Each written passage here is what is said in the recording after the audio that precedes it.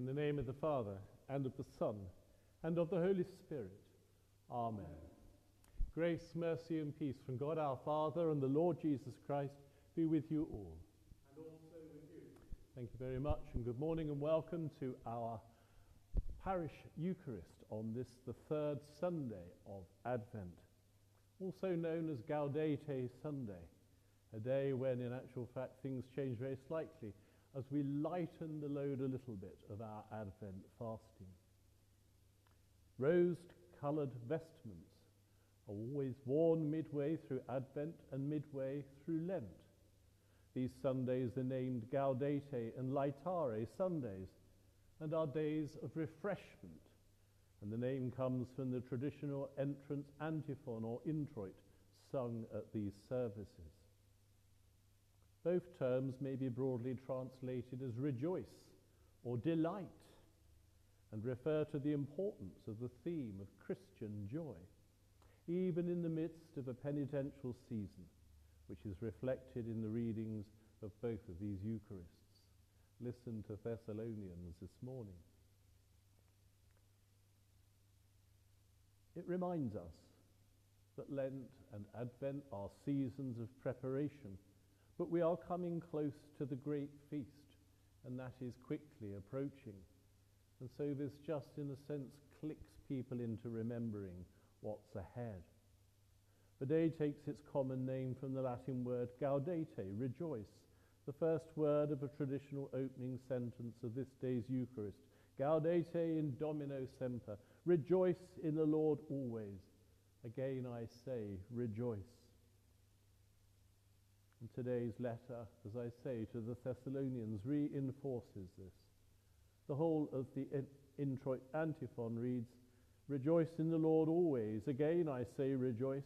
Let your forbearance be known to all, for the Lord is near at hand. Have no anxiety about anything, but in all things by prayer and supplication, with thanksgiving, let your requests be known to God. Rejoice in the Lord always. As we prepare for worship this morning, let us say together our prayer of preparation. Almighty God, to whom all hearts are open, all desires known, and from whom no secrets are hidden, cleanse the thoughts of our hearts by the inspiration of your Holy Spirit, that we may perfectly love you and worthily magnify your holy name. Through Christ our Lord. Amen. When the Lord comes, he will bring to light the things now hidden in darkness and will disclose the purposes of the heart.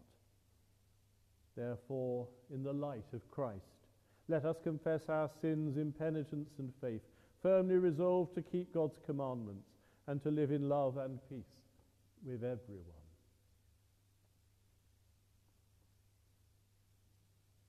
Almighty God, our Heavenly Father, we have sinned against you and against our neighbor in thought and word and deed, through negligence, through weakness, through our own deliberate fault. We are truly sorry and repent of all our sins. For the sake of your Son, Jesus Christ, who died for us, Forgive us all that is past, and grant that we may serve you in newness of life, to the glory of your name. Amen.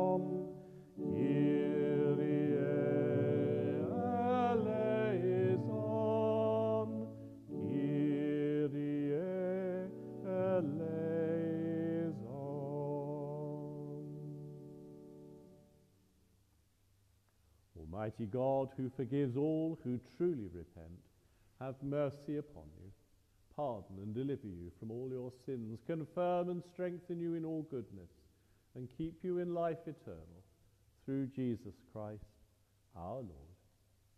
Amen.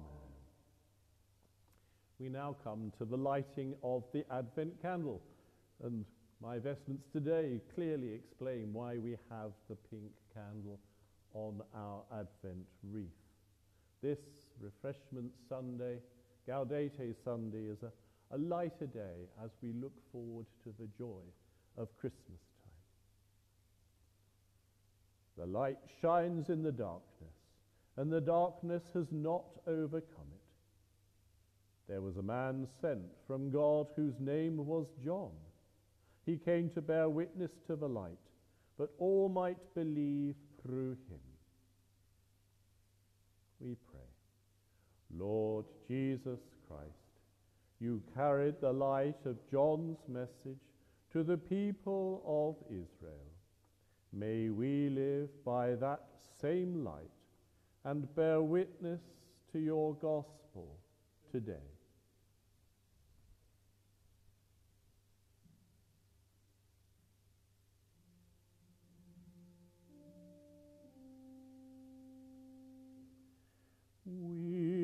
Light the Advent candle and remember Christ our King, who has come as light in the darkest night. To his glory now we sing.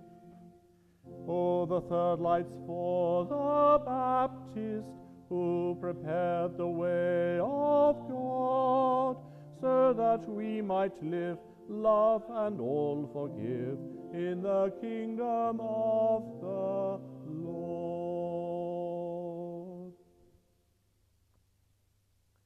And so, for the collect of this Sunday and this week, let us pray.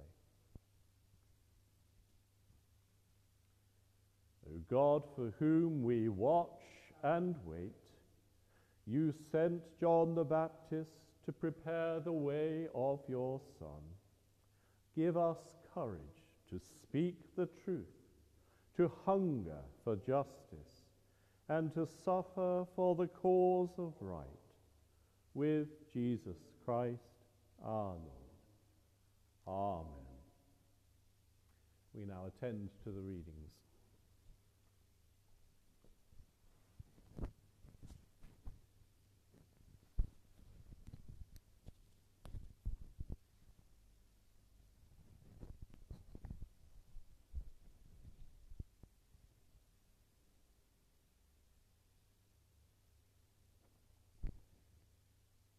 A reading from the first letter of Paul to the Thessalonians.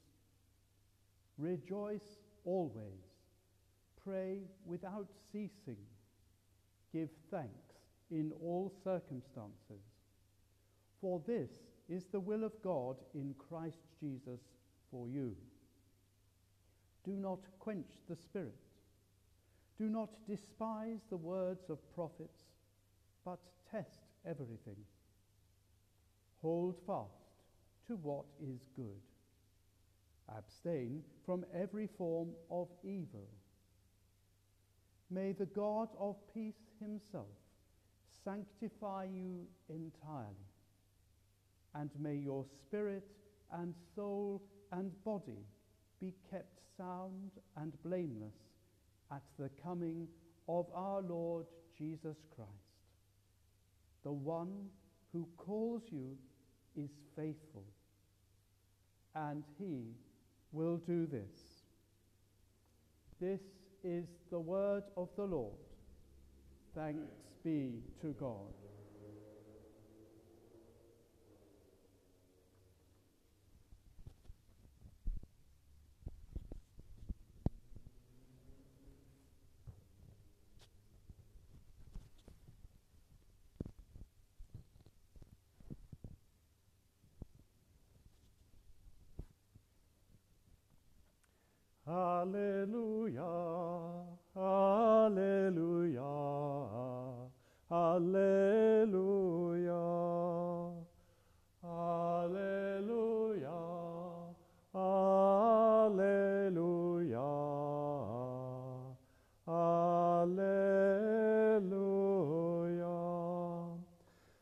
prepare the way of the Lord, make his path straight.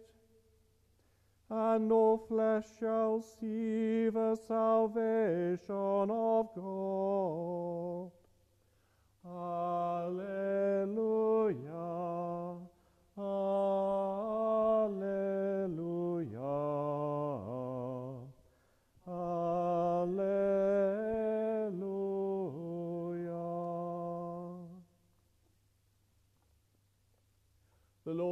With you. Hear the gospel of our Lord Jesus Christ according to John. Glory to you, O Lord.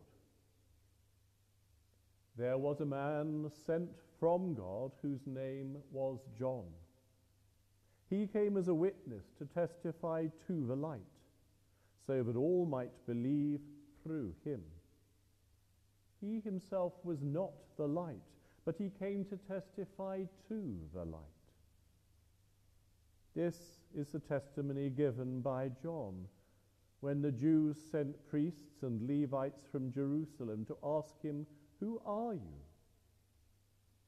He confessed and did not deny it, but confessed, I am not the Messiah. And they asked him, What then? Are you Elijah? He said, I am not. Are you the prophet? He answered, No. Then they said to him, Who are you? Let us have an answer for those who sent us. What do you say about yourself? John said, I am the voice of one crying out in the wilderness, Make straight the way of the Lord, as the prophet Isaiah has said.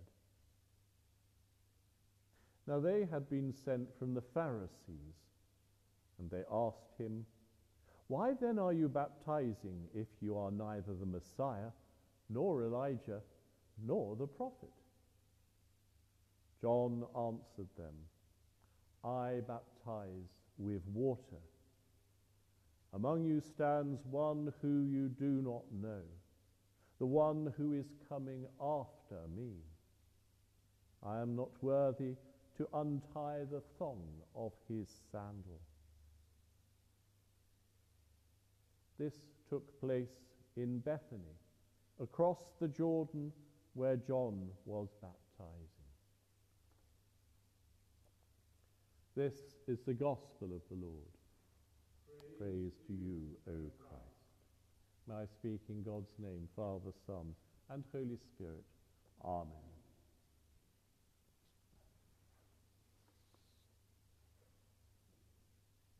I wonder how many of you know of the sculptor, the very famous sculptor, Henry Moore.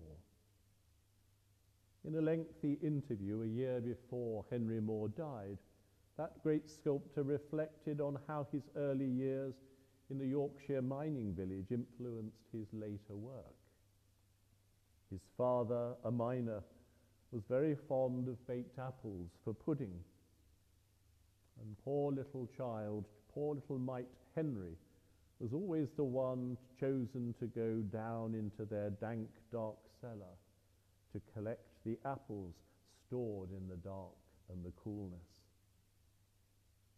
Poor little Henry.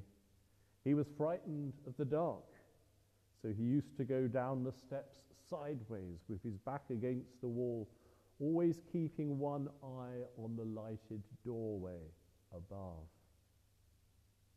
And it was later, when he was carving deep into his massive pieces of stone to create a sculpture, that he said he always felt he wanted to find a way out, remembering that cellar experience.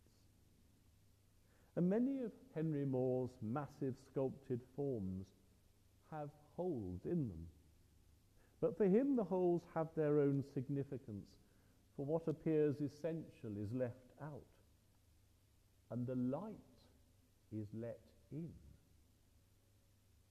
In the mining village where he grew up, there was always competition between the bright sun and the dense, dark fog, between the daylight and the pitch black of the mines, between the small child and those enormous slag heaps.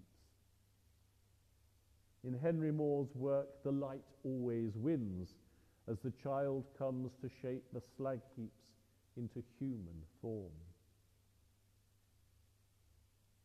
Today's gospel begins with the absence of the light.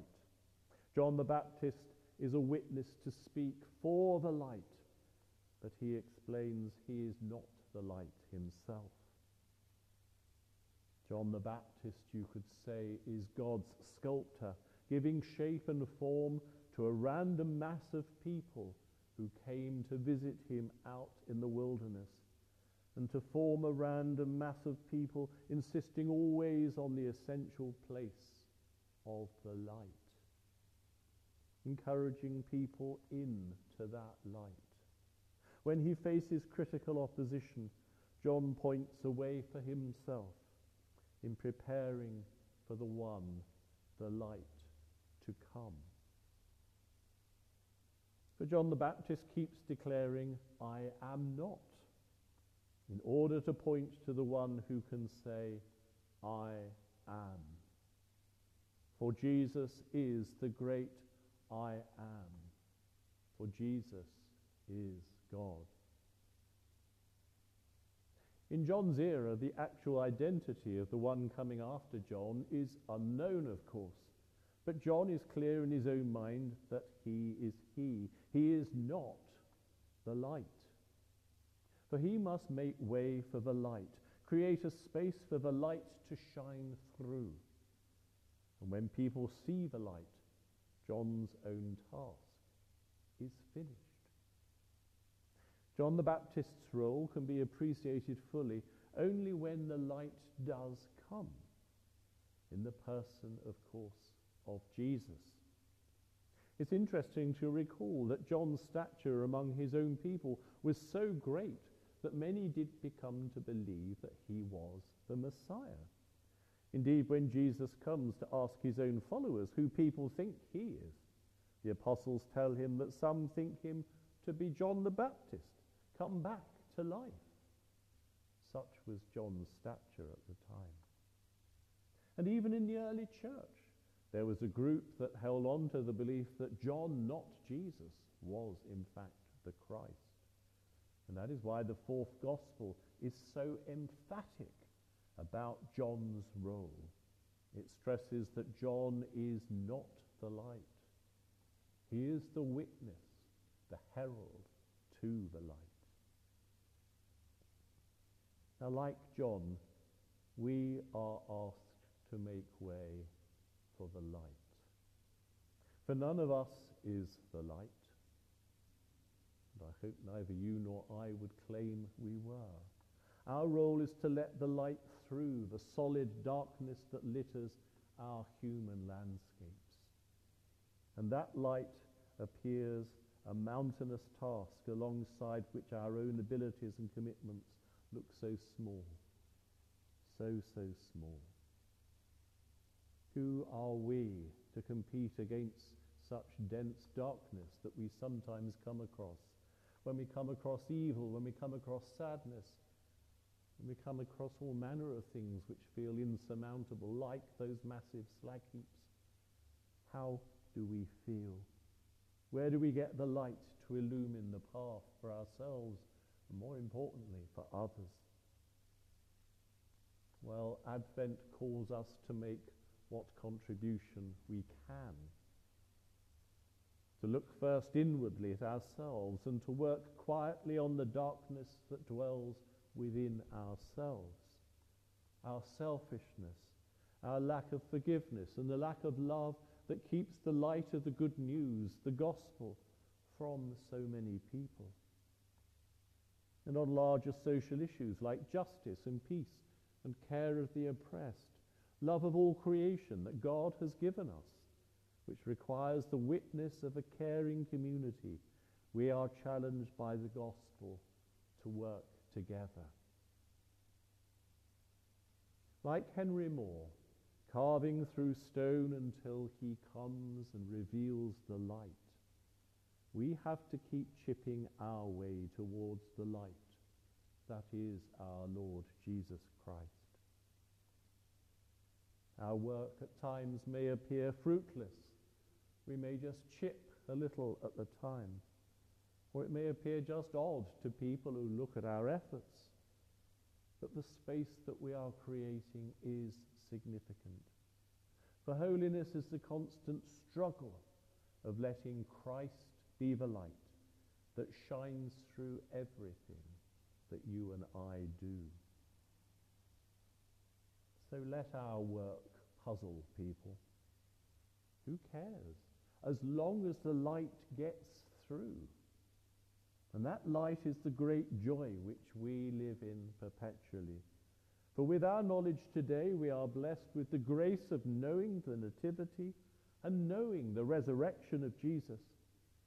And so, even in our Advent and Lenten times of introspection, we are called to share the joy of our Christmas and Easter faith. May that ever be so, even in these times of penitence leading up to the two great festivals. May we be the joyful pointers to the light that is Christ. Amen.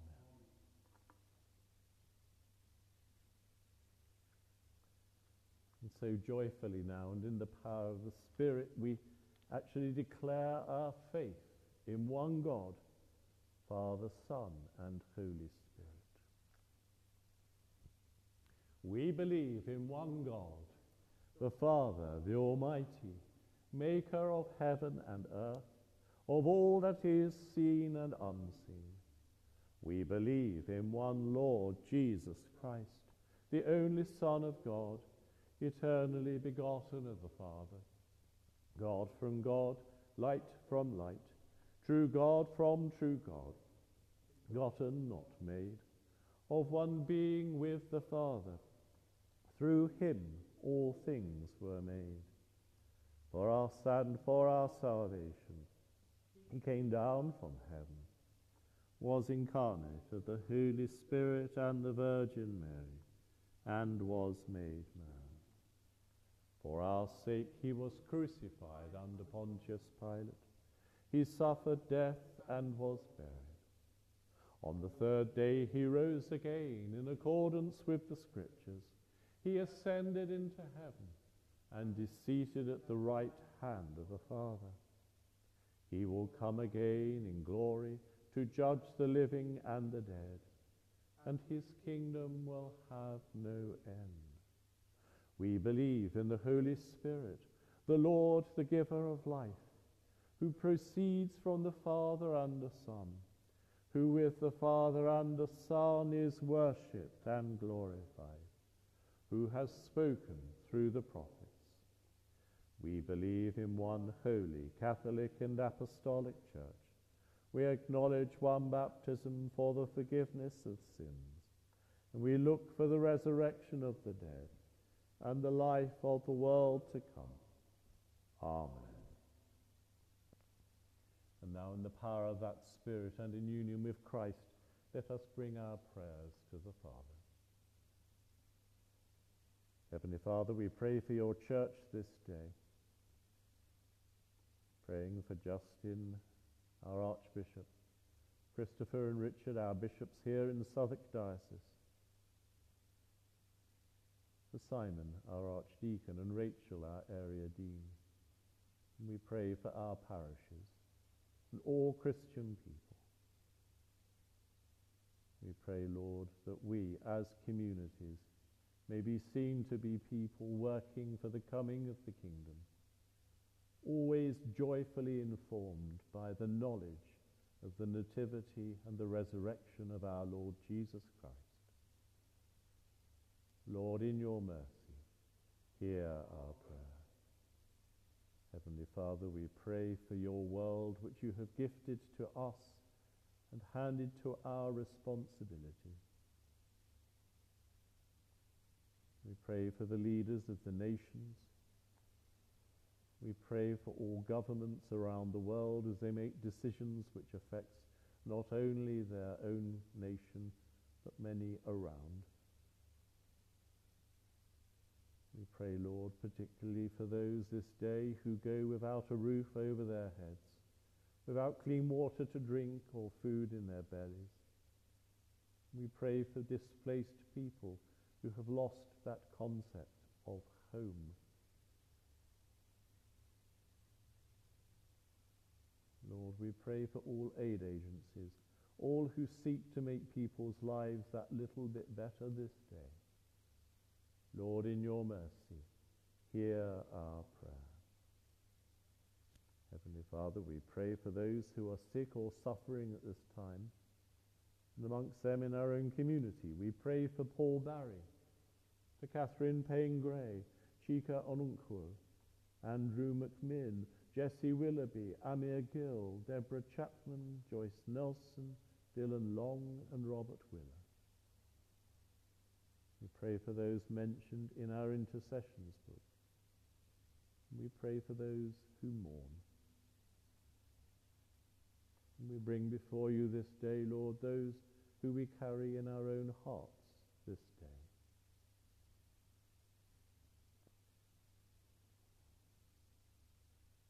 Lord, be with them in their troubles and bring them the joy of your salvation. Lord, in your mercy, hear our prayer. Hear us, good Lord, as we remember those who have died, particularly praying for those who have died recently, among them Tony Lander, Johan Fernanda, Eric Beale, Joan Swaden, Chinwe Onunkwo, Michael Oy, and Racy MacDonald. We pray for those known to us and those whose year's mind falls about this time. Rest eternal grant them, O Lord, and let light perpetual shine upon them. Lord, in your mercy, hear our prayer. Hear us, good Lord, as we finally pray for ourselves. May the joy of our faith ever be on our faces in what we say and in what we do. May be, we be witnesses to Christ our Lord, who came among us and healed people, who came among us and died for us all, and who rose again to give us the promise of eternal life. Merciful Father, accept these prayers for the sake of your Son, our Saviour, Jesus Christ. Amen. May you please stand, if you can, for the peace. Our Saviour Christ is the Prince of Peace, and of the increase of his government there will be no end. May the peace of the Lord be always with you you very much. Let's offer one another a sign of peace if we're together, or pray for those otherwise who we know and love in church and beyond.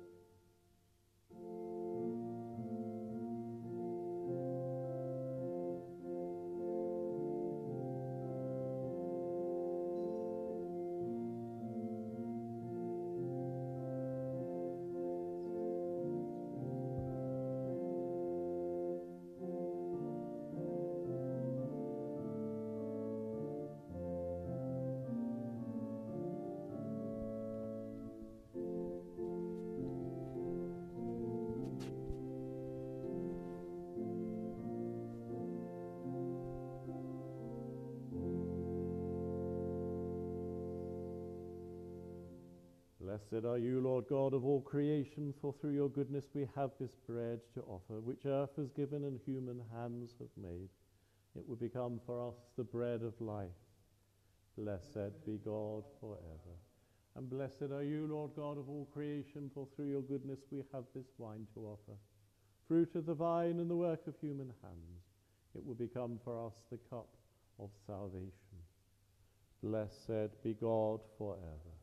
Yours, Lord, is the greatness, the power, the glory, the splendor, and the majesty. For everything in heaven and on earth is yours.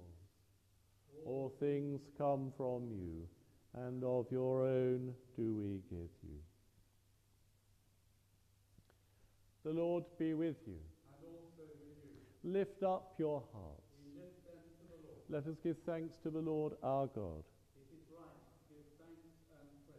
You are worthy of our thanks and praise, Lord God of truth, for by the breath of your mouth you have spoken your word, and all things have come into being.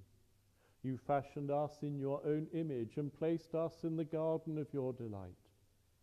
Though we chose the path of rebellion, you would not abandon your own. Again and again you drew us into your covenant of grace. You gave your people the law and taught us by your prophets to look for your reign of justice, mercy, and peace. As we watch for the signs of your kingdom on earth, we echo the song of the angels in heaven, evermore praising you and singing. Holy,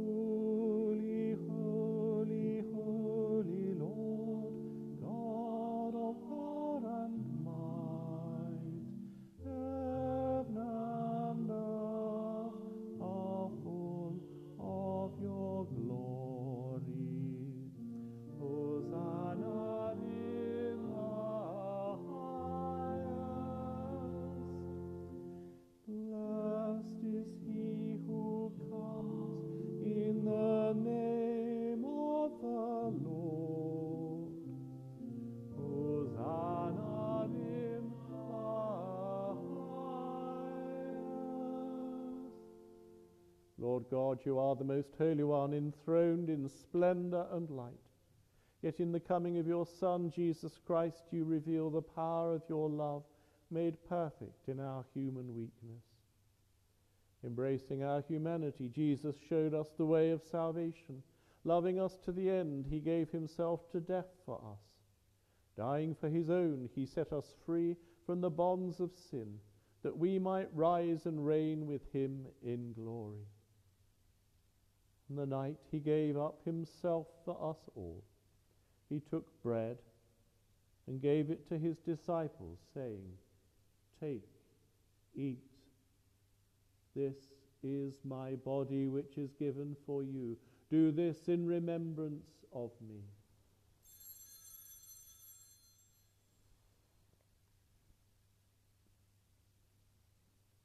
The same way, after supper, he took the cup and again he gave you thanks.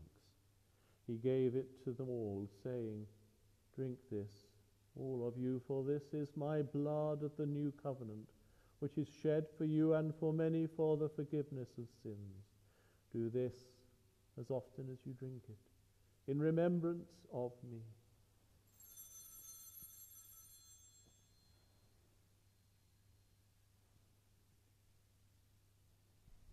Therefore, we proclaim the death that Christ suffered on the cross. We celebrate his resurrection, his bursting from the tomb. We rejoice that he reigns at your right hand on high, and we long for his coming in glory. As we recall the one perfect sacrifice of our redemption, Father, by your Holy Spirit, let these gifts of your creation be to us the body and blood of our Lord Jesus Christ. Form us into the likeness of Christ and make us a perfect offering in your sight. Look with favor on your people, and in your mercy hear the cry of our hearts. Bless the earth, heal the sick, let the oppressed go free, and fill your church with power from on high. Gather your people from the ends of the earth to feast with Mary, the Mother of God, Peter, Paul, and all your saints at the table in your kingdom, where the new creation is brought to perfection in Jesus Christ our Lord, by whom and with whom and in whom, in the unity of the Holy Spirit, all honor and glory be yours, Almighty Father, for ever and ever. Amen.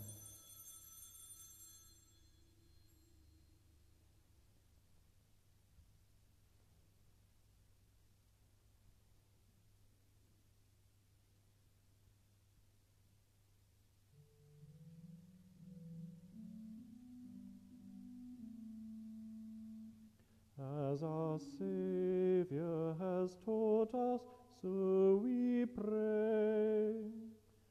Our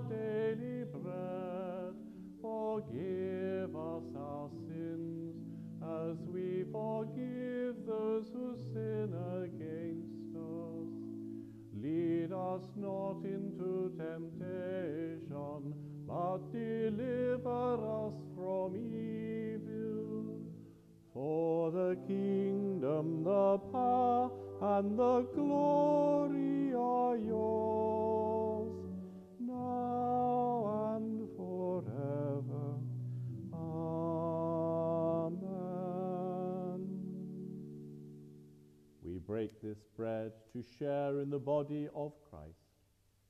Though we are many, we are one body, because we all share in one bread.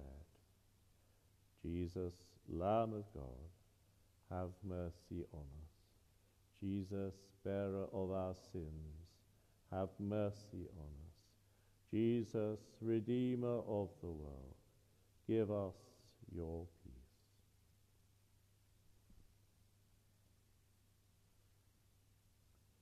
Behold God's holy gifts for God's holy people. Jesus Christ is holy. Jesus Christ is Lord, to the glory of God the Father. Amen.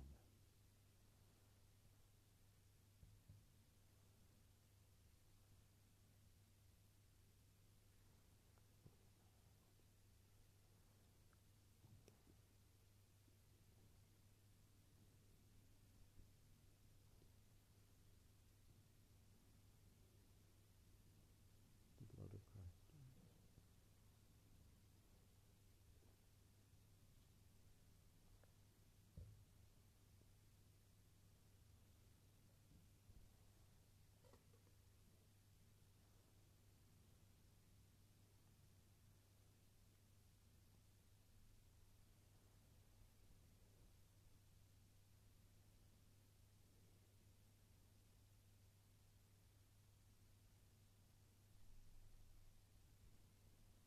Let us pray. We give you thanks, O Lord, for these heavenly gifts. Kindle in us the fire of your Spirit, that when your Christ comes again, we may shine as lights before his face, who is alive and reigns now and forever. Amen. And we pray together. Almighty God, we thank you for feeding us with the body and blood of your Son, Jesus Christ. Through him we offer you our souls and bodies to be a living sacrifice. Send us out in the power of your Spirit to live and work to your praise and glory. Amen.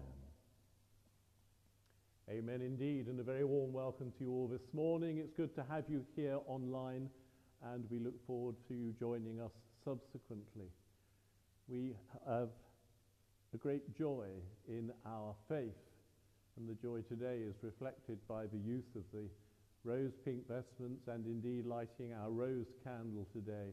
And that's something for us really to remember about Advent, that it's a joyful preparation for the coming of Christ at Christmas time. In his 2014 Gaudete Sunday homily, Pope Francis said that Gaudete Sunday is known as the Sunday of joy, and that instead of fretting about all they still haven't done to prepare for Christmas, people should think of all the good things that life has given us. And that's possibly a very important thing for us to remember. So, in the end, if you see a priest wearing rose pink, remember the call to live joyfully. We will continue to broadcast our services over the next couple of weeks, of course, online, and we look forward to you joining us then. We also will be actually welcoming people into church at 11 o'clock on Sunday mornings generally. The Christmas Day is the only time we change the time to 10 o'clock in the morning, and we hope that we may see some of you here in church. We are asking people to book in to ensure they get a seat ready and available for them here, because we do have a maximum number of people who can come and attend our services. So please do be in touch if you'd like to come either at midnight at 11.30 on Christmas Eve or at 10 o'clock on Christmas morning to ensure that you can get in. The Lord be with you. And also with you. The peace of God, which pass, passes all understanding, keep your heart and mind in the knowledge and love of God. And may Christ, the Sun of righteousness, shine upon you, scatter the darkness from before your path, and make you ready to meet him when he comes in glory. And the blessing of God Almighty, the Father, the Son, and the Holy Spirit be with you and remain with you now and always. Amen. Now go in peace to love and to serve the Lord. In the name of Christ. Amen.